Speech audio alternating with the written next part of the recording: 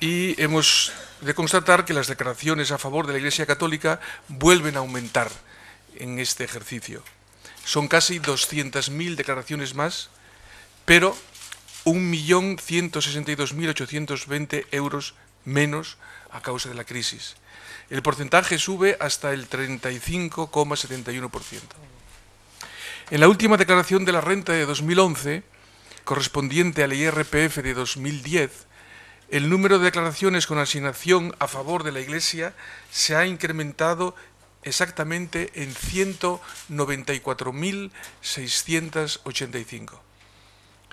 El número total de declaraciones a favor de la Iglesia se ha elevado a 7.454.823. En los últimos cinco años se ha producido un aumento de casi un millón de declaraciones más a favor de la Iglesia, exactamente 971.643.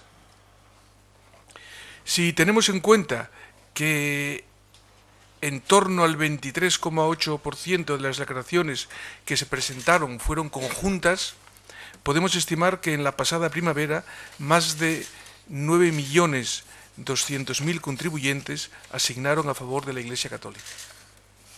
El porcentaje sube casi un 1%, exactamente el 0,96%, y se sitúa de este modo en el 35,71%.